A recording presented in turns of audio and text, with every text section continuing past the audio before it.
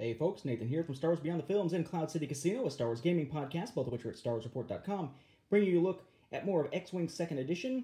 This is the last ship of the current wave that we're looking at here. We've looked at several ships so far, in fact, seven of them. There were eight ships in this wave, plus that deluxe movement tool. We will look at that later. I'm waiting for mine to be replaced.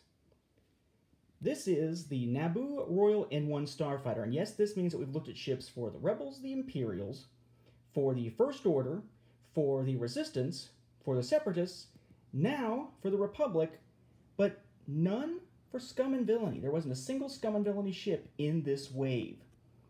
So here's our N1 Starfighter there. We have our maneuver dial, content list and whatnot here. Three ship tokens, and then our ship cards, our pilots. We have Ric Olié, Anakin Skywalker, and I crap you not, of course, you can spend one force charge to barrel roll, because spinning! Yeah, that's a good trick. We have Padme. If you're sitting there saying, wait a Padme Amidala flying a Naboo starfighter, oh, they just needed somebody from Naboo. No, she's, you know, she's someone who's actually been trained in that sort of thing. We have Dineé uh, Ellberger. Sure, why not? Naboo Handmaiden, Bravo Pilot Officer, or excuse me, Bravo Flight Officer.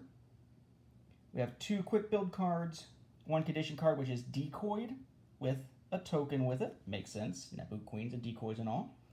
We then have a proof of purchase. We have a dial ID token. We have ID tokens for 17, lock tokens for 17, one stress token, one disarm token, one evade token, one focus token, two shield tokens, one force charge token, and four standard charge tokens. And then we have seven upgrades. We have Daredevil, Collision Detector, Passive Sensors, Plasma Torpedoes, R2A6, R2C4, so presumably he'll blow up, and R2 Astromech, the generic version. So if you're wanting to add to your Republic Squadron, and frankly, the pickets are kind of slim right now, you could grab the Naboo Royal N1 Starfighter for 20 bucks.